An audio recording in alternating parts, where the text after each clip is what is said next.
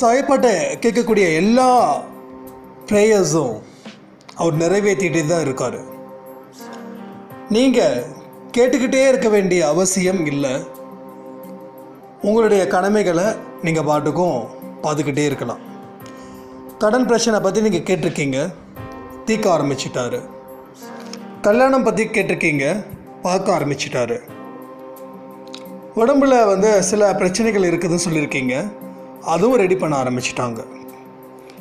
So நம்மளுடைய plan என்ன? நம்ம எதுக்கு இந்த உலகத்துக்கு வந்திருக்கோம்?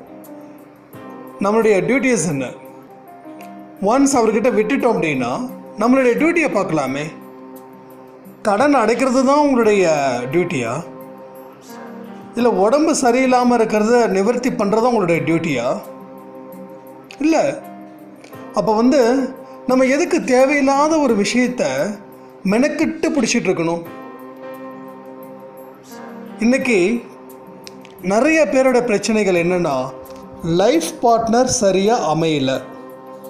எனக்கு நல்லபடியாக எனக்கு பிடிச்ச மாதிரி லைஃப் பார்ட்னர் அமைஞ்சிருந்தா என் வாழ்க்கை பிரகாசமாக இருந்திருக்கும். இன்னும் நான் நல்லா வாழ்ந்திருப்பேன். என்னுடைய எல்லா திறமையையும் என் லைஃப் பார்ட்னர் தான் கெடுத்துட்டாரு அப்படின்னு சொல்கிறவங்க தான் இன்னைக்கு நிறைய பேர். நான் ஒரு விஷயம் சொல்கிறேன் நீங்கள் எந்த பொண்ணை கல்யாணம் பண்ணாலும் எந்த பையனை கல்யாணம் பண்ணாலும் இதுதான் நடந்திருக்கும். இதை மீறி எதுவும் நடக்காது. ஏன்னா எல்லா விஷயமும் நம்மளுடைய கர்ம வினைகளுக்கு தகுந்த மாதிரி தான் மக்களே நம்ம கூட இருக்காங்க. சின்ன விலங்காக இருக்கட்டும் பெரிய விலங்காக இருக்கட்டும் சின்ன மனிதர்களாக இருக்கட்டும் பெரிய மனிதர்கள் சின்ன குழந்தையாக இருக்கட்டும் வசதி படைத்தவங்க வசதி படைக்காதவங்க வறுமையாக இருக்கிறவங்க வறுமை இது மாதிரியான எல்லா விஷயங்களும் கர்ம வினையின் அடிப்படையில் தான் அந்தந்த கூட்டம் வந்து இருக்குது அதனால் இது அவசியம் இல்லாத ஒரு விஷயம். ஒரு அறுபது வயசு ஒரு பாட்டி என்கிட்ட சொல்கிறாங்க வேற ஒருத்தனை கல்யாணம் பண்ணி இருந்தேன்னா இந்நேரம் நான் நல்லா வாழ்ந்திருப்பேன். இவனை கல்யாணம் பண்ணிட்டு இவனை நல்லா மென்ஷன் பண்ணிக்கோங்க. இவனை கல்யாணம் பண்ணிக்கிட்டு எப்போ பார்த்தாலும் எனக்கு இப்படி தான் அவர்கிட்ட போய் கேட்டால் இதே தான் ரிப்ளை அப்போ ஒரு விஷயம் புரியுது. இவருக்கு அவர் சரியில்லை அவருக்கு இவர் சரியில்லை. மொத்தமாக நம்ம சரியில்லை. யார் என்ன பண்ணாலும் இப்படி தான் நமக்கு வாழ இப்படி தான் வாழ்ந்து ஆகணும். இதையே நம்ம புரிஞ்சிக்க மாட்டேன்றோம். இன்னொருத்தனை குறை சொல்லிக்கிட்டே வாழ்ந்துக்கிட்டே இருந்தான்னா அப்போ என்னைக்கு தான் நிறைவோடு வாழ்கிறது இந்த ஜென்மத்தில் இந்த மனுஷங்க கூட தான் வாழணும் அப்படின்றது ஒரு தார்மீக கடமை நமக்கு வந்துடுச்சு. அதை நம்ம வந்து இஷ்டப்பட்டு வாழ்ந்துட்டு போயிடலாமே. அது எதுக்கு நம்ம கஷ்டப்பட்டுட்டு வாழ முயற்சிகள் செய்யணும்? அதனால் நொந்துக்கிட்டு வாழ்கிறதுக்கு பதிலாக இஷ்டப்பட்டுட்டு வாழ்ந்துடலாமே. உங்களால் ஒருத்தர் வந்து வாழ்க்கையை எப்படி அமைச்சு தரணும் தெரியுமா நீங்கள் உங்கள் லைஃப் பார்ட்னரால் ப்ராப்ளம் இருக்குது அப்படின்றீங்க. அவரை உயர்த்துறதுக்கு உண்டான வழிகளை அவர்கிட்ட நீங்கள் காட்டுங்க. இல்லைங்க அவர் ஒத்துக்க மாட்டார். அவர் செய்யவே மாட்டார். அவர் அப்படி தான் அப்படின்னு நீங்கள் முத்திரை குத்துறதால தான் அப்படி அவர் அப்படியே இருக்கிறார். அது ஆண்களாக இருக்கலாம் இல்லை பெண்களாக இருக்கலாம். அப்படிலாம் இல்லை. எல்லா மனுஷங்களுக்கும் அன்புன்றது ஒன்று இருக்குது. இப்போ உங்களோட லைஃப் பார்ட்னர்ஸ் வந்து சொக்க தங்கம் ரியலா உடனே நீங்கள் சிரிக்கலாம். இல்லைங்க உங்களுக்கு தெரியாதுங்க. உண்மை இதுதான். உண்மை இங்கேருந்து தான் ஆரம்பமாகுது. முல்லை எதால் எடுக்க முடியும் முள்ளால் எடுக்க முடியும். அப்படி தான் எடுக்க முடியும். வேற எப்படி எடுக்க முடியும்? பூவால் எடுக்க முடியுமா? அதே மாதிரி தான் உங்களுக்கு வந்து ஒரு லைஃப் பார்ட்னர் இப்படி இருக்காங்கன்னா இந்த இடத்துல நீங்கள் அமைதியாக சந்தோஷமாக உங்களுடைய கடமைகள் என்னென்னலாம் நல்லபடியாக செய்ய முடியுமோ அதை நல்லபடியாக செய்யுங்க. ரெண்டாவது உங்களோட லைஃப் பார்ட்னருக்கு நிறைய விஷயங்கள் ஹிண்ட் கொடுங்க. உங்கள் வீட்டுக்காரர் வந்து நீங்களாம் சொல்லலாம் என் வீட்டுக்காரர் ரொம்ப ஏமாலிங்க ஏமாந்துருவாருங்க அப்படின்னு. இருக்கட்டும். நீங்கள் ஏமாறல அவர் ஏமாறது தெரியுதில்ல? நாலு தடவை சொல்லுங்கள் அஞ்சு தடவை சொல்லுங்கள் இல்லை பத்து தடவை சொல்லுங்கள் நூறு தடவை சொல்லுங்கள் ஏதோ ஒரு தடவை நீங்கள் சொல்லி அவர் ஜெயிச்சிட்டாருன்னா மறுபடியும் அவர் உங்களை தான் கேட்பார். என்ன பண்ணலாம்? இல்லைங்க என் வீட்டுக்காரர் பயங்கரமான ஆளுங்க. இருந்துட்டு போகிறாரு நம்ம அவங்களோட நம்ம பயங்கரமாக ஆளாக இருந்தோம் போன ஜென்மத்தில். அதனால தான் அந்த பயங்கரமான ஆள் கூட நம்ம வாழ வேண்டிய ஒரு நிலைமை நமக்கு இருக்குது ஸோ சுற்றி இருக்கிறவங்க சில விஷயங்கள் நமக்கு எதிராக செய்ய தான் செய்வாங்க. அதுக்காக நம்மளுடைய கடமைகளை செய்கிறத வந்து தயவு செய்து நிறுத்தாதீங்க. கடமைகள் செய்ய தவறுறவங்க கிட்ட தான் நிறைய நெகட்டிவ் வைப்ரேஷன் ஸ்டார்ட் ஆகுது. அது உங்களுக்கு தெரியும் கண்டிப்பாக ஒரு ஒரு மணி நேரம் அமைதியாக உட்காந்துருங்க எதையாவது ஒன்று நினச்சி உட்காருங்க. ஏதாவது ஒரு கஷ்டமான சூழ்நிலை நினச்சி உட்காருங்க. அடுத்த நிமிஷம் உங்களுக்கு எப்படி இருக்குது? அந்த ஒரு மணி நேரம் முடிஞ்சதுக்கப்புறம் எப்படி தெரியுமா இருக்கும்? தலை பயங்கரமாக வலிக்கும். தூக்கம் தூக்கமாக வரும். வாழ்க்கையில் எதுவுமே பிடிக்காத வெறுப்பை தான் பார்ப்போம். இப்படி தான் நம்ம என்ன செய்கிறோன்னா டெய்லியும் ஒரு மணி நேரம் ஒரு மணி நேரம் தொடர்ந்து உக்காந்துட்டு இருக்கோம். அப்போ யோசிச்சு பாருங்க ஒரு நாளைக்கு கிட்டத்தட்ட பத்து மணி நேரம் நம்ம முழிச்சிட்டு இருக்கிற நேரம் அப்படின்ற கணக்கு வச்சு மீதி இருக்கிறது வேலை செய்கிற நேரம் மீதி தூங்குகிற நேரம் தவிர மீதி பத்து மணி நேரம் நம்ம சும்மாவே இருக்கோம். இந்த இடத்துல ஒர்க்கிங் போகிறவங்களுக்கு கொஞ்சம் ப்ராப்ளம் இல்லை. ஓரளவுக்கு அவங்க அட்ஜஸ்டட் ஆகிடுறாங்க ஆனால் வீட்டில் இருக்கிறவங்களுக்கு இந்த டென் ஹவர்ஸில் என்ன செய்கிறாங்க தெரியுமா? ஒன்று சீரியலில் பிஸி இல்லைன்னா வீட்டில் இருக்கக்கூடிய கஷ்டத்தை நினச்சி நினச்சி இந்த மனுஷன்தான் இந்த மனுஷன்தான் இந்த மனுஷன்தான்னு உருகி உருகி சாரி துன்பப்பட்டு துன்பப்பட்டு வாழ்க்கையை விரக்தி ஆயிடுறாங்க. இதனால் என்ன பின் விளைவுனா உடம்பு சரியில்லாதது. எப்போ பார்த்தாலும் சோம்பல் எப்போ பார்த்தாலும் தூக்கம் பிபி சுகர் கேட்கறதுக்கு பயமாக இருக்கு இல்லையா? இதுதான் நடக்குது. ஒரே விஷயம் எல்லாம் நல்லவங்க. எல்லாம் அப்பாவோட குழந்தைங்க. ஒரு குழந்தை அப்படி இருந்ததுன்னா ஒரு குழந்தை இப்படி இருக்க தான் செய்யும். நம்மளும் இந்த ஆட்டத்தெல்லாம் ஆடிட்டு தான் வந்திருக்கோம். நம்ம இன்னைக்கு குழந்தைங்கள கண்ணாப்பினான்னு திட்டமே நம்ம குழந்தையாக இருந்து என்ன பண்ணோம்? அமைதியாக இருந்தோமா? போட்டு ட்ரெஸ் கசங்காமல் விளையாண்டோமா? எவ்வளோ ஆட்டம் போட்டோம். நான்லாம் ஆட்டம் பயங்கரமாக ஆடினேன். ஆடு ஆடுன ஆடினேன் என்ன மாதிரி ஆடாத மனுஷனே இல்லை. ஆனால் இன்றைக்கி ஏய் அமைதியார் அப்படி சொல்லும்போது காமெடியாக இல்லை? அவங்கவுங்க அப்படி தான் இருப்பாங்க. அன்னைக்கு ஆட்டம் போட்டனா இன்னைக்கு நான் ஆட்டம் போட முடியுமா? இதுதான் அவங்க புரிஞ்சுப்பாங்க. அதுக்கு உண்டான டைமிங் எடுத்துக்கோங்க. ஸோ சிம்பிளான ஒரு விஷயம். கவலைகள் எந்த மனுஷன் மேலேயும் வைக்காதீங்க. சந்தோஷத்தை வைங்க. நம்பிக்கையை வைங்க. இந்த குடும்பம் உங்களால் தான் டெவலப் ஆக போகுது அப்படின்றத நம்புங்க. இந்த குடும்பத்தை நீங்கள் தான் வந்து கரை சேர்க்கணுன்றதை நம்புங்க. சம்பாதிக்கிறவர் யாராக வேணாலும் இருக்கலாம். யார் வேணாலும் சம்பாதிக்கலாம். ஆனால் அந்த குடும்பம் யார் மூலமாக வளருது தெரியுமா? வீட்டில் கிச்சன் செக்ஷனில் யார் இருக்காங்களோ அவங்க மூலமாக தான் அந்த குடும்பம் சுபிக்ஷம் அடையுது. இதுதான் உண்மை. கோடி சம்பாதிங்க லட்சம் சம்பாதிங்க ஆயிரக்கணக்கில் சம்பாதிங்க. ஆனால் அந்த குடும்பத்தோடைய வெளிச்சம் அந்த வீட்டில் கிச்சன் ரூமில் இருக்கிறவங்க நம்ம அம்மா கையில் உங்களோட மனைவி கையில் தான் ஆரம்பம் ஆகுதுன்றதை புரிஞ்சுக்கோங்க. அதாவது உங்களுடைய கையில் இது ஹவுஸ் ஒய்ஃப் கேட்குறவங்களுக்கு உங்கள் கை. இல்லை கணவன்மார்கள் கேட்டிங்கன்னா உங்களோட மனைவி. ஸோ எந்த ஒரு ஆண் மகனும் தன் மனைவி கிட்ட தான் அம்மா மாதிரி நினச்சா மட்டும்தான் இந்த வாழ்க்கையில் ஜெயிக்க முடியுன்றதை நம்புங்க. பொண்டாட்டியை அடிமையாக நினச்சேன்னா சத்தியமாக இல்லை எந்த ஜென்மத்திலையும் ஜெயிக்க முடியாது. பொண்டாட்டியை காலால் எட்டி உதைக்கிறது அசிங்கப்படுத்துறது பல பேர் முன்னாடி கேவலப்படுத்துறது அதையும் மீறி நீங்கள் பண்ணியிருந்தீங்கன்னா தயவு செய்து மன்னிப்பு கேட்டுருங்க. காலில் கூட விழுந்திருக்க தப்பே கிடையாது. ஏன்னா வீட்டில் இருக்கிற பெண்கள் என்றைக்குமே வந்து கண் கலங்காமல் வச்சு காப்பாற்றுறவங்க தான் வாழ்க்கையில் ஜெயிச்சிருக்காங்க. எனக்கு ரொம்ப ரொம்ப ரொம்ப ரொம்ப பிடிச்ச விஷயம் என்னென்னா அடிக்கிறவங்க ஆம்பளையே கிடையாது. இது டாபிக் வேறு மாதிரி போகுது. ஸ்பிரிச்சுவல்லேருந்து வெளில போகுதுன்னு நினைக்கிறேன். ஓகே அது விடுங்க. ஸோ யாரையும் அடிக்கக்கூடாது. அவ்வளோதான்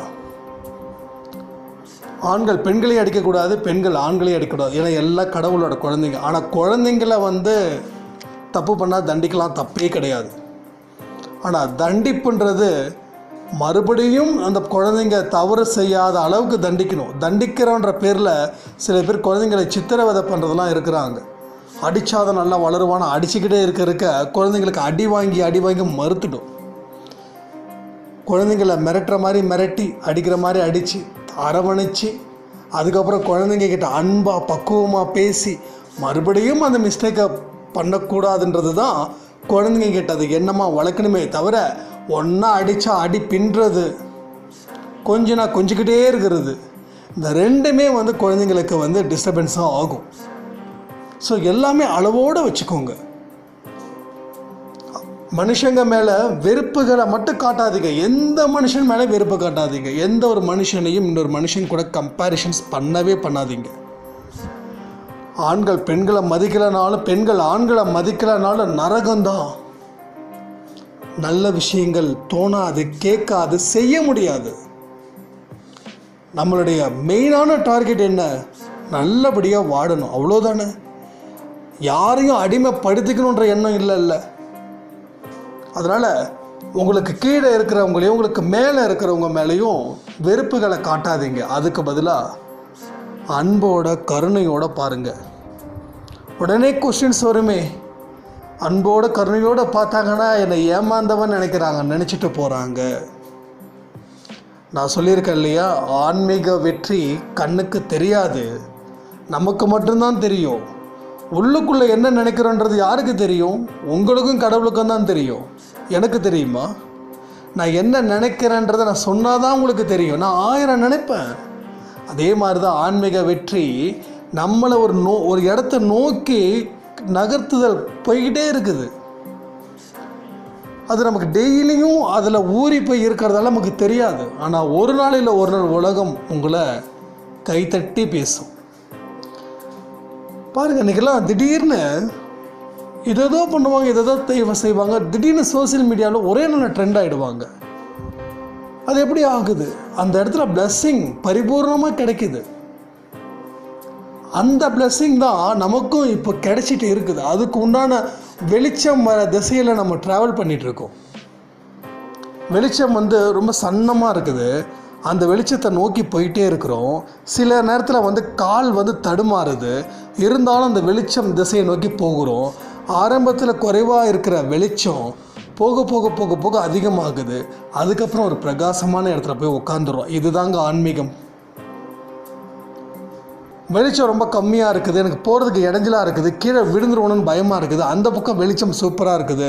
நான் அந்த பக்கமாக போகிறேன்னா அந்த பக்கம் வெளிச்சம் ஆரம்பத்தில் பிரகாசமாக இருக்கும். போக போக போக போக இருட்டடிச்சிடும். ஆனால் இங்கே அப்படி இல்லை. ஆரம்பத்தில் இருக்கிற வெளிச்சம் கம்மியாக இருக்கிற வெளிச்சம் இருட்டடைஞ்ச மாதிரி ஒரு வெளிச்சம் இருக்கும். போக போக போக போக பிரகாசமாகிடும் ஆனால் அது வரைக்கும் விழுந்தாலும் நமக்கு அடிபடாது. அப்படி கீழே விழுந்தாலும் எந்திரிச்சு நடந்துருவோம். ஸோ இதுதான் வந்து வாழ்க்கையை நம்ம பார்த்துக்கணுமே தவிர ஒரு மாயம் அப்படின்ற ஒரு இடத்துல வெளிச்சம் அதிகமாக இருக்குது. அங்கே தான் நல்லா பாட்டு பாடுறாங்க டான்ஸ் ஆடுறாங்க கை தட்டுறாங்க சந்தோஷமாக இருக்கிறாங்க சிரிக்கிறாங்க. என்னென்னமோ சொல்லிட்டு இதை நிறுத்திட்டு அங்கே ஓடி போயிடுறோம். அங்கே ஓடி போனவனே தான் ஆரம்பத்தில் இனிக்கக்கூடிய விஷயம் பின்னாடி போக போக கசக்குது. அதுக்கப்புறமா அதுவே விஷமாக மாறிடுது.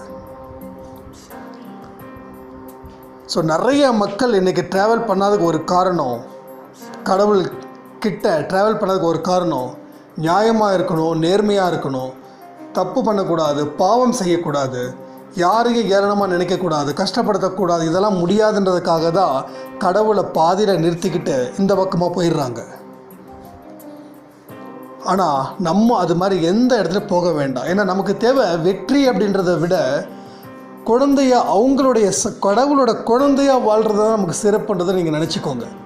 உலகம் சொல்கிறத நம்ம எதிர்க்கிறோம். நம்ம ஆதரிக்கிறத உலகம் எதிர்க்குது. இதுதான் உண்மை. ஒருத்தவனை வந்து அவன் இல்லைன்னா தான் நமக்கு உட்கார முடியும்னு நினைக்கிறோம். அப்போ அவன் அவன் மேலே வெறுப்பு தான் நமக்கு வருது. புரியுதா உங்களுக்கு? அவன் இல்லைன்னா அவன் கடையை திறக்கலன்னா இன்றைக்கி என் கடை நல்லா சூப்பராக ஓடும் அப்படின்னு நினைக்கும் போது அவன் மேலே வெறுப்பு தான் வரும். அப்புறம் அவன் உங்களை பார்ப்பான். உங்களும் அவன் அப்படி தான் நினைப்பான். அவன் மட்டும் உங்களை நல்லபடியாக நினைக்க மாட்டான் அவனும் நீங்கள் இப்படி நினைக்கிறீங்கன்னா உங்களை விட அதிகமாக தான் நினைப்பான் எதுக்கு இந்த வெறுப்பு? அவங்க அவங்களுக்கும் குடும்பம் இருக்குது. அப்போ வந்து உங்களுக்கு உண்டான திறமைகளை நீங்கள் வளர்ந்துட்டு போகிறீங்க எதுக்கு அடுத்தவனை நொந்துக்கணும்?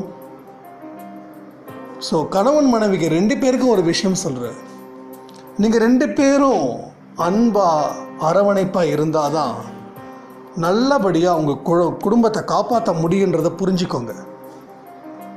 எனக்கு வேண்டா வெறுப்பான கல்யாணம் பண்ணிக்கிட்டேன் அது இது இதெல்லாம் சண்டையில் வர்றது சகஜம். அதே மாதிரி இன்னொரு விஷயமா சொல்கிறேன் கோவத்தில் சில வார்த்தைகள்லாம் வரும். அதெல்லாம் உண்மையாக இருக்காது. அதெல்லாம் தயவு செய்து நம்பாதீங்க. ஏன்னா நான் நிறைய அனுபவப்பட்டுட்டேன். நிறைய வார்த்தைகள் வரும். ஆனால் எது உண்மை எது பொய்ன்றத ஒரு அன்பாக ஒரு இடத்துல எமோஷன் இல்லாமல் இருப்பாங்க இல்லையா? அதுதான் உண்மை. கோவத்தில் ஆயிரம் சொல்லலாம். ஆனால் கோபத்தில் நீ அப்படி சொல்லிட்டேன் ஒருவேளை நான் உனக்கு செட் ஆகலையா நான் பிடிக்கலையா அப்படி இப்படின்னு சொல்லி புலம்புறது வேஸ்ட்டு நம்ம நல்லா இருந்தால் தானே நம்மளை நாலு பேர் மதிப்பாங்க. தெரியுதில்ல? ஒரு மேரேஜுக்கு போகிறோம் பயங்கர சண்டை வந்திருக்கும் உங்களுக்கும் உங்கள் லைஃப் பார்ட்னருக்கும் எல்லாம் முடிச்சுட்டு அடுத்த நாள் ஃப்ரெண்டோட மேரேஜுக்கு நீங்கள் போக வேண்டிய நிலைமை. என்ன பண்ணுவீங்க? அங்கே சண்டை போட்டு தனித்தனியாக உட்காருவீங்களா? அப்படியே கையை கோத்துக்கிட்டு நடக்க மாட்டீங்க? ஏன்? அப்படி இருந்தால் தான் உங்களை மதிப்பாங்க. நீங்கள் ஒரு பக்கமாக அவர் ஒரு பக்கமாக அங்கேயே சண்டை போட்டுட்டு அவங்க யாரும் மதிக்க மாட்டாங்க. கேவலமாக பார்ப்பாங்க. அப்போது உள்ளத்தால் இணையணும். உள்ளத்தால் இணையலைன்னா கேவலமாக தான் பார்ப்பாங்க. அது நம்ம கேவலம் அது புரிஞ்சுக்கோங்க. கடவுளை கடவுள் கொடுத்த வாழ்க்கையை நம்ம உதாசீனப்படுத்துகிற மாதிரி ஆகுது இங்கே. கடவுள் எதுக்காகவோ ஒரு பொண்ணையும் ஒரு பையனையும் உங்களுக்கு கொடுத்தாங்க? உங்களுக்கு நல்ல அழகான குழந்தைங்களை எதுக்கு கடவுள் கொடுக்கணும்? இதெல்லாம் வந்து யோசிச்சு பாருங்க. ஒரு விஷயத்தை வேண்டாம்னு சொல்கிறது ரொம்ப ஈஸி ஆனால் அதுக்கு பின்னாடி எத்தனை விஷயங்கள் ஆன்மீக விஷயங்கள் நடக்குதுன்னு உங்களுக்கு தெரியுமா? இந்த மனுஷனுக்கு இவங்கன்னு சொல்லி ஏகப்பட்ட விஷயங்கள் மேலோகத்தில் நடந்துக்கிட்டு இருக்குது. அதை நம்ம புரியாமல் நமக்கு யாரும் செட் ஆக மாட்டாங்கன்னு சொல்லி நம்ம வந்துடுறோம். ஸோ தயவு செய்து இதில் வந்து எந்த ஒரு சொல்யூஷனும் உங்களுக்கு கிடைக்காது. இருக்கிற விரிசல்களை அதிகம் பண்ணாமல் விரிசலை குறைங்க. கொஞ்ச நேரத்தில் அந்த விரிசல் இல்லாமலே ஓடி போயிடும். ஒவ்வொரு குடும்பமும் அழகான குடும்பமாக நல்ல ஒரு அமைதியான ஒரு சூழ்நிலையை உருவாக்கி நம்ம வாழ வேண்டிய கடமையில் நீங்கள் இருக்கீங்க. அதை உண்டான வழிகள் என்னென்னலாம் இருக்குதோ அதெல்லாம் செய்யுங்க.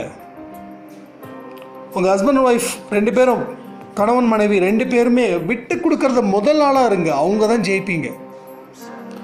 என்னமோ சொல்லிட்டு போகிறாருங்க உங்கள் ஹஸ்பண்ட் உங்களுக்கு கேவலமாக பேசுகிறாரா உங்களுக்கு தெரியும். அவர் பேசுகிறது உண்மை எது பொய் எதுன்னு. உண்மை இருந்துச்சுன்னா திருத்திக்கோங்க. தப்பே ஒன்றும் கிடையாது. பொய்யா இருந்துச்சுன்னா கண்டுக்காதீங்க.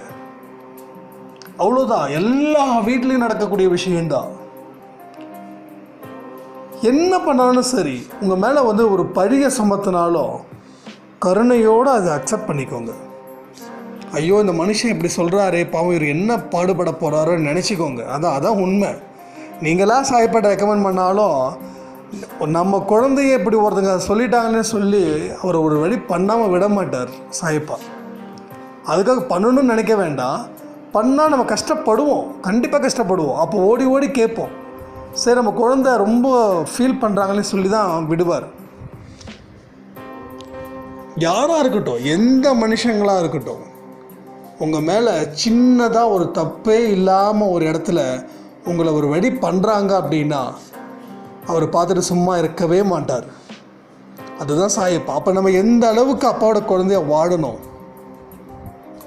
மனசில் கூட எல்லாரையுமே அன்பை பொழியணும். அப்படி இருக்கிறவங்களுக்கு தான் முதல் மரியாதை சாயப்பா கொடுக்குறாங்க. அந்த மரியாதை எப்படின்னா மற்றவங்க கைத்தட்டுதல் மூலமாக உங்களுக்கு அந்த மரியாதை கொடுக்குறார். இப்படி சும்மா வந்து எந்த மக்களும் கைத்தட்டிட மாட்டாங்க. உங்களை கேவலப்படுத்தி பேசினவங்க திடீர்னு நாளைக்கு ஒரு நாள் வந்து உங்களை வந்து தலையில் தூக்கி வச்சு ஆடுறாங்கன்னா அவங்க ஆடலை ஆட வைக்கிறாரு. அவரை நேரடியாக வந்து பாராட்டுதலை மக்கள் மூலமாக எந்த மக்கள் உங்களை வந்து உதாசீனப்படுத்தி கேவலப்படுத்துகிறாங்களோ அந்த இடத்துல அவங்க வாழ்க்கை ஆரம்பமாக போகுதுன்றது மட்டும் உண் உண்மை. அப்போது ஒரு எங்கே அவமானப்படுறீங்களோ அங்கே உங்கள் வாழ்க்கையை ஆரம்பிக்க இடத்துல நீங்கள் இருக்கிற இடத்துல இருக்கீங்க அப்படின்னும் போது அந்த இடத்த விட்டுட்டு வந்தீங்கன்னா அப்புறம் எப்படி உங்களால் ப்ரூஃப் பண்ண முடியும்? மறுபடியும் இன்னொரு இடத்துக்கு போவீங்க. அங்கேயும் இதே மாதிரி விஷயங்கள் நடக்கும். அங்கேயும் விட்டு போயிடுவீங்களா? ஸோ எப்பேற்பட்ட சுச்சுவேஷனாக இருந்தாலும் இங்கே தான் நம்ம வாழ போகிறோம் இங்கே தான் ஜெயிக்க போகிறோம் இங்கே அவமானப்படுத்தியிருக்காங்க. இங்கே தான் நம்ம வாழ்க்கையை சாயப்பா நல்ல அஸ்திவாரம் போட்டு அமைச்சு கொடுத்துருக்காரு. இந்த ஒரு ஆப்பர்ச்சுனிட்டியை நான் மிஸ் பண்ணவே மாட்டேன்னு சொல்லி வைராக்கியத்தோடு நீங்கள் வாழ ஆரம்பிங்க. ஜெயிச்சிட்டிங்க. ஸோ ஒவ்வொரு தடவை சாயப்பா கிட்ட உட்காந்து மணிக்கணக்கில் ப்ரே பண்ணி அழுது அழுது அழுது என் புருஷனை திருப்பி கொடு. என் புருஷன் கெட்ட வழியில் போகிறாரு அது வேஸ்ட்டு அது நடக்கவே நடக்காது. நீங்கள் அழுக அழுக உங்களுக்கு வீக்னஸ் அதிகமாகுது. நல்ல ஆரோக்கியமாக இருக்கிறவங்களா தானே ஓட முடியும். ஆரோக்கியம் இல்லாதவங்க வந்து ஓட முடியுமா? அது மாதிரி தான் அப்போ நல்ல ஸ்ட்ராங்காக இருந்தால் தான் நீங்கள் கேட்கக்கூடிய ப்ரேயர் வந்து கன்ஃபார்ம் ஆகும். நீங்கள் நினச்சது எல்லாமே நடக்கும். நடக்காத நான் சொல்லவே மாட்டேன். ஆனால் சில டைம் தேவைப்படுது. அவ்வளோதான் நம்ம எப்படி இன்றைக்கி வந்து ஒரு ஒரு ஒரு லட்ச ரூபாய் வந்து ரெடி பண்ணி ஒரு பிஸ்னஸ் ஆரம்பிக்கிறோம்? ஒரே மாதத்தில் ஒரு லட்ச ரூபா எடுத்துட முடியுமா? அப்போ எவ்வளோ நாள் ஆகும்? குறைஞ்சது ஒரு ஆறு மாதமாக ஆகும். நம்மளை பற்றி நாலு பேர் தெரியணும். அதுக்கப்புறம் வந்து இவங்க வந்து நல்லா பண்ணுவாங்க நம்பிக்கை வரணும். அதுக்கப்புறமா தயங்கி தயங்கி ஏதாவது ஒன்று கொடுப்பாங்க. இல்லை பொருள் வாங்குவாங்க. அதுக்கப்புறமா உங்களை கன்ஃபார்ம் பண்ணுவாங்க. அதுக்கப்புறமா தான் வாழ முடியும். சாதாரணமான ஒரு விஷயத்துக்கே ஒரு மனுஷங்க இவ்வளோ வேல்யூ பார்க்குறாங்கன்னா எல்லாம் தெரிஞ்ச சாயப்பா அத்தனை கர்மாக்களும் உங்களுக்கு தெரியுதோ இல்லையோ அவருக்கு தெரியும். நம்ம என்னென்னலாம் செஞ்சோம் போன பிரிவில் என்ன செஞ்சோன்னு உங்களுக்கு சொல்ல முடியுமா? எத்தனை பேரோட வாழ்க்கையை நீங்கள் வந்து சந்தோஷப்படுத்திருக்கீங்க? எத்தனை பேரோட வாழ்க்கையை கஷ்டப்படுத்திருக்கீங்க உங்களால் சொல்ல முடியுமா? அப்போ வந்து இதெல்லாம் முடிஞ்சாதானே நமக்கு அந்த வாழ்க்கை. அப்போ இதெல்லாம் முடிஞ்சாதானே நம்ம ப்ரேயர் கன்ஃபார்ம் ஆகும். அவர் எப்படி முடியாதுன்னு சொல்ல முடியும்? கடவுளுக்கு கண்ணு இல்லைன்னு எத்தனை பேர் சொல்லியிருக்காங்க? அதில் எவ்வளோ கஷ்டமான வார்த்தைகள் தெரியுமா? இதெல்லாம் வந்து ஒரு எக்ஸாம்பிள்ஸ் திங்க் பண்ணுங்க. ஒரு லட்சத்துக்கு ஆரம்பிச்சால் பத்தாயிரம் வெயிட் பண்ணாதான் கஸ்டமர்ஸ் வருவாங்க. வெயிட் பண்ணணும் வச்சாச்சு. வச்சதோட நம்ம நிறுத்திடக்கூடாது ஒரு லட்ச ரூபாயில் அஞ்சு லட்சம் பத்து லட்சத்துக்கு ஒரு ஒன்றும் இல்லைங்க. ஒரு பத்து லட்சத்துக்கு இருபது லட்சத்துக்கு ஒரு பெரிய ஷோரூம் வைக்கிறீங்க. சும்மா காலையிலையும் நைட்டு திறந்து வச்சா மட்டும் போதுமா? அதற்கு உண்டான வேலைகளை நம்ம செய்யணும்ல? செஞ்சால் தானே வருவாங்க. நிறைய அட்வர்டைஸ்மெண்ட் ரெடி பண்ணணும். ரெண்டாவது குவாலிட்டி அதிகம் பண்ணணும். மூணாவது வரக்கூடிய கஸ்டமர்ஸை வந்து சிரித்த முகத்தோட வரவேற்கணும். பொலைட்னஸ் இருக்கணும். எதை சொன்னாலும் சிரிச்சுக்கிட்டே நம்ம வந்து ஆன்சர் பண்ணணும். இதெல்லாம் இருந்தால் தானே நம்ம கஸ்டமர்ஸ் நாலு பேர் வருவாங்க. ஆஹா சிரிச்ச மூஞ்சி அங்கே போகலாம்யா ஒரு ரூபா பொருளுக்கு அதிகமாக இருந்தாலும் அங்கே ஏன் போகணும். கேட்குறோமா இல்லையா? நம்ம அந்த மாதிரி எத்தனை கடைக்கு போயிருக்கோம்? சிடு சிடுன்னு ஒருத்தர் இருப்பார். பத்து ரூபா கம்மியாக கொடுத்தா போவீங்களா நீங்கள் அவன் கிடக்குறா போகமாட்டோம் ஆனால் குவாலிட்டி அன்பு அக்கறை இப்படி இருக்கிறவங்க கிட்ட தான் இன்றைக்கி வியாபாரம் நல்லபடியாக நடக்குது. அப்போது நம்ம ஒரு ப்ரேயர் வைக்கிறோம் அப்படின்னா அது வச்சாச்சு முடிஞ்சாச்சு அது செய்ய ஆரம்பிச்சாச்சு. பட் அதுக்கு உள்ளுக்குள்ள நிறைய விஷயங்கள் ஒரு பாசிட்டிவான ஆக்டிவிட்டீஸில் நீங்கள் இறங்கிக்கிட்டே இருக்கணும். என்னென்னலாம் நினைக்கிறீங்களோ அதெல்லாம் செயல்படுத்துறதுக்கு உண்டான ஒரு விஷயத்தமாக நீங்கள் பார்க்கணும்.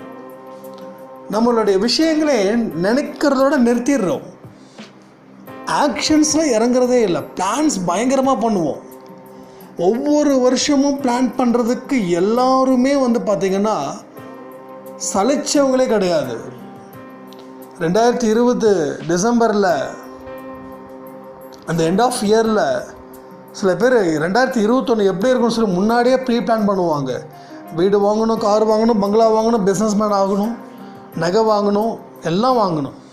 ஆனால் ரெண்டாயிரத்தி அந்த எண்ட அந்த இயர் ஆஃப் எண்டில் வந்து என்ன பண்ணுமோ அப்படியே தான் இருக்கும். பிளான் பண்ணதோட சரி. இம்ப்ளிமெண்டேஷன் இல்லை. நார்மலான ஒரு வாழ்க்கையை தான் நம்ம வாழ்ந்துக்கிட்டே இருக்கோம். ஆக்ஷன் செயல்படுங்க. யாராவது வந்து சொல்கிறாங்களா இதுக்கு மேலே நீ வேலை செய்யாதப்பா அப்படின்னு சொல்கிறாங்களா இதுக்கு மேலே உன்னோட அறிவை வளர்த்தாது வளர்த்திக்க வேண்டாம்னு சொல்கிறாங்களா அப்புறம் எதுக்கு நம்ம தேவையில்லாமல் வந்து லைஃப் பார்ட்னர் மேலே பழியை தூக்கி போடணும்? ஸோ நம்ம சோம்பேறித்தனத்துக்கு நம்ம இடம் கொடுத்துட்டோம். இன்னொருத்தவங்கள வந்து நீ தான் காரணம் அப்படின்னா அது பெரிய பாவம் இல்லையா? ஸோ மேற்கொண்டு இது மாதிரியான விஷயங்கள் செய்யாமல் என்னென்னலாம் நம்ம செய்ய முடியுமோ அதை நூறு சதவீதம் செய்வோம். எந்த அளவுக்கு மற்றவங்க மேலே அன்பும் கருணையும் வைக்க முடியுமோ அன்பையும் கருணையும் வைப்போம். சேர்த்தவாறு இழைச்ச தூக்கி எரிஞ்சால் கூட அதை வந்து ஒரு பன்னீர்னு நினச்சிக்கிட்டு நம்ம சிரிச்சுக்கிட்டே போயிடலாம். ஒரு மண்டபத்துக்கு போகிறீங்க பன்னீர் போடுறாங்க மேலே சந்தோஷமும் போகிறோம்ல அதே மாதிரி எதிர் வீட்டுக்காரன் சேர்த்த வாரி இறைக்கிறான். பன்னீர் தெளிக்கும் போது ஃபேஸ் எந்த அளவுக்கு மலர்ந்துருக்குதோ அதை விட இங்கே நீங்கள் மலர்ந்துருச்சுன்னா இதுக்கு மேலே என்ன சொல்ல முடியும்? என்ன இருந்தாலும் சொல்லுவான் வெக்கம் சூடு சொர்ணம் இல்லை நான் போடுற சாணியை கூட சிரிச்சிட்டே போகிறானா சொல்லட்டும். சொல்லட்டும். அதானே சொல்லுவேன் சொல்லு. ஆனால் அதை தாங்குகிற சக்தி அந்த மலர்ச்சியோடு நம்ம அதை அக்செப்ட் பண்ணுறோம் பாருங்க. சத்தியமாக சொல்கிறேன் நீங்கள் ஜெயிச்சிட்டிங்க. எல்லாத்தையும் தூக்கி போட்டு பத்து லட்சம் கடனா தூக்கி போடுங்க. அது அது சும்மா கால் தூசி அது. இந்த ஞானம் உங்களுக்கு வந்துருச்சுன்னா உங்கள் கடன் அடைஞ்சிருச்சுன்னு நினச்சிக்கோங்க. ஹண்ட்ரட் பர்சன்டேஜ் ஹண்ட்ரட் இல்லை எவ்வளோக்கு எவ்வளோ பர்சன்டேஜ் போட அவ்வளோக்கு எவ்வளோ பர்சன்டேஜ் போட்டுக்கோங்க. இல்லை சாயண்ணா எப்படி என்ன அடைக்க முடியும்? அடைக்க முடியும். இந்த பக்குவம் வர்றது பெரிய விஷயம். கடன் அடைக்கிறத விட வந்து இது வந்து சின்னது கிடையாது. அதை விட இது பெரிய விஷயம். இது எல்லாத்தையும் தாங்கினா அந்த விஷயங்கள் ஈஸியாக ஏதோ ஒரு வழியில் முடிஞ்சிடும். உங்கள் ஹஸ்பண்ட் உங்களை என்னமோ பேசிட்டு போகிறாருங்க ஆர்கியூமெண்ட் வேண்டாம் கோபம் வேண்டாம் வெறுப்பு வேண்டாம் எரிச்சல் வேண்டாம் எதுவும் வேண்டாம் ஆரத்தி எடுக்கக்கூடாதுன்னு சொல்கிறார் அவங்க வீட்டுக்காரர். ஓகே எடுக்கல விட்டுருங்க. மனசில் எடுத்தாச்சு. சச்சிரதை படிக்க வேண்டாம்னு சொல்கிறாரா படித்ததை ரீகால் பண்ணுங்க. தேங்க்ஸ் பண்ணுங்க. படிக்க வேண்டாம்னு நினச்சா நம்ம அதை தான் நம்ம ரீகால் பண்ணுவோம். அதை நினச்சி பாருங்கள் சிரிச்சுக்கோங்க. சாய்ப்பா கோதுமை அரைக்கும் போது என்ன சொன்னார்? அங்கே இருக்கிற பெண்மணிகள்லாம் எடுத்து வச்சுக்கிட்டாங்களாம். அப்போ வந்து அவர் கோவப்பட்டது வந்து பார்த்திங்கன்னா அதெல்லாம் வந்து ரொம்ப ஜாலியாக இருக்கும். பாம் நம்ம சாய்ப்பாக்கு எவ்வளோ கோவம் வந்திருக்குது. ராமநவமி கொண்டாடும் போது என்னாச்சு? யாரோட கழுத்தை பிடிச்சாரு? கண்ணில் சின்னதாக வந்து குங்குமம் விழுந்துருச்சான் கண்ணில் என்னமோ விழுந்துருச்சு. சரி தெரியல. நான் மறுபடியும் படித்து சொல்கிறேன் உங்களுக்கு. என்ன மாதிரி ஆக்ரோஷம். அதெல்லாம் வந்து என்ஜாய் பண்ணுங்க அந்த நேரத்தில். வீட்டுக்கார படிக்க விட தடை போட்டாரா? ரீகால் பண்ணுங்க. இதுதாங்க வாழ்க்கை. அடுத்தவங்க உங்களுக்கு வேண்டான்னு சொல்கிறது அங்கே இருந்து உங்கள் வேறு ஒரு வாழ்க்கை ஆரம்பமாகுதுன்னு புரிஞ்சுக்கோங்க. இப்படி சொல்லிட்டான் இப்படி சொல்லிட்டான் சொல்லிட்டான்னு சொல்லி நீ எல்லாம் நல்லா இருப்பியா? நீ எல்லாம் வந்து சாயப்பா கும்பிட வேணாம்னு சொல்லி நீ எல்லாம் உருப்படுவியா இந்த வார்த்தைகள் சொன்னீங்கன்னா அவர் உருப்படுறாரு இல்லை நம்ம உருப்பட மாட்டோம். ஏன்னா எந்தெந்த சொற்கள் சொல்கிறோமோ அது நமக்கு தான் வந்து நிற்கும். உங்கள் புருஷன் சொல்லக்கூடிய விஷயத்தை நீங்கள் அக்செப்ட் பண்ணால் அது உங்களுக்கு அக்செப்ட் பண்ணால் அவருக்கு. புரியுதா உங்களுக்கு? உங்கள் ஹஸ்பண்ட் உருப்படவே மாட்டேன்னு சொன்னார்னா அது உங்களுக்கு இல்லை. நீங்கள் அக்செப்ட் பண்ணால் தான் உங்களுக்கு. இல்லைன்னா அவருக்கே போய் சேர்ந்துரும். புத்தர் சொன்ன மாதிரி என்ன புத்தரே ஒருத்தர் வந்து இப்படி உனக்கு கழுவி கழுவி ஊற்றிட்டு இருக்காங்க. நீங்கள் இப்படியான ஐயோ நான் ஒன்றும் எடுத்துக்கலையா? சொன்னார். நான் எதுவுமே எடுத்துக்கல. அப்போ எடுத்துக்கலன்னா என்ன ஆகுது? அவரே வச்சுக்கிட்டார். அவ்வளோதான் திருப்பி கொடுத்தாச்சு. நம்மக்கிட்ட இருக்கிறது திருப்பி கொடுத்தா இந்த இதையும் எடுத்துக்கோ. என்ன எடுத்துக்கோ? நம்மளுடைய பாவத்தை நீ எடுத்துக்கோ. பாருங்கள் எவ்வளோ ஜாலியாக வாழலாம். எதுக்குங்க இவ்வளோ கஷ்டம்? நம்ம அப்படியே வந்து டென்ஷன் ஆகும்போது நம்மளுடைய மூஞ்சிலாம் வேறு மாதிரி போயிடுது. தெரியுமா உங்களுக்கு? நீங்கள் போய் கண்ணாடி முன்னாடி போய் பாருங்கள் நீங்களே பார்த்தா பயந்துருவீங்க. கண்ணாடி முன்னாடி நின்று இதுக்கு முன்னாடி நீங்கள் சண்டை போடும்போது உங்கள் ஃபேஸோடைய ரியாக்ஷன்ஸை நீங்கள் வந்து அப்படியே பார்த்து அப்படியே ஃபோட்டோ எடுத்து பத்திரமா உங்கள் மொபைலில் வைங்க. அந்த ஃபேஸு பத்து தடவை அது மாதிரி போச்சுன்னா ஒரு நாளில் இல்லை ஒரு நாள் நரம்பெல்லாம் இழுத்துக்கும். பிபி கண்ணா பின்னான்னு ஏறு ஏறுன்னு ஏறும். கஷ்டப்பட்டு நம்ம வந்து வீடை வச்சுருந்தா யாராவது ஒருத்தங்க வந்து கண்ணா பின்னான்னு அலங்கோலப்படுத்துனாங்கன்னா என்ன ஆகும்? மறுபடியும் பல மணி நேரம் வந்து அந்த வீட்டை சரி பண்ணணும். அதே மாதிரி தான் நல்லபடியாக அழகாக தியானம்லாம் பண்ணி ஆரத்திலாம் பண்ணி சும்மா அப்படி இந்த குழந்தைங்களாம் உட்காந்துருப்பாங்க தெரியுமா? ஸ்கூலுக்கு போகும்போது எல்கேஜி யூகேஜி போகும்போது. அப்படியே ஆட்டம் போடுங்க. கடைசியில் ஸ்கூலுக்கு அம்மா அனுப்புகிறாங்கன்னு தெரிஞ்ச உடனே அமைதியாகிடுங்க அதுக்கப்புறம் ஸ்கூலுக்கு போகிற மைண்டில் நல்லா அப்படியே இதெல்லாம் போட்டுட்டு உட்காந்துருக்குங்க அது மாதிரி நம்ம உட்காந்துருப்போம் அப்போ திடீர்னு எவனோ யாராவது ஒருத்தவங்க அல்ல லைஃப் பார்ட்னரோ இல்லை யாரோ ஒருத்தவங்க சொல்லுவாங்க. அப்படியே ஏறினா மறுபடியும் நம்ம பண்ணது எல்லாம் வேஸ்ட்டாக போயிடும். இதுதான். ஸோ ஒரு மனுஷன் உங்களை வெறுப்பு ஏற்றுறாங்க அப்படின்னா அழகாக என்ஜாய் பண்ணுங்கள் வெக்கமான சூடு சொரணம் இல்லைன்னு சொல்கிறாங்களா அதையும் என்ஜாய் பண்ணுங்கள் அப்படியே குளிர்ச்சி. உங்களை வந்து அர்ச்சனை பண்ணும்போது எப்படிலாம் வந்து இது பண்ணாங்களோ அவ்வளோ சந்தோஷப்படுவீங்களோ பன்னீர் தெளிக்கும் போது எப்படி என்ஜாய் பண்ணுவீங்களோ அப்படி என்ஜாய் பண்ணுங்கள் பண்ணி தான் பாருங்களேன். ஒரு ஆறு மாதத்துக்கு தொடர்ந்து இதை பண்ணுங்கள் அதுக்கப்புறம் ஏழாவது மாதத்துக்கு அப்புறம் உங்களுடைய ஃபீட்பேக் எனக்கு சொல்லுங்கள் அப்போ பாருங்கள் அவங்களோட வளர்ச்சி எந்த அளவுக்கு இருக்குதுன்னு சொல்லி இந்த ஆடியோ முடிக்கிறேன் ரொம்ப ரொம்ப லேட் ஆகிடுச்சு எக்ஸ்ட்ரீம்லி சாரி ஜெய் சாய்ராம்.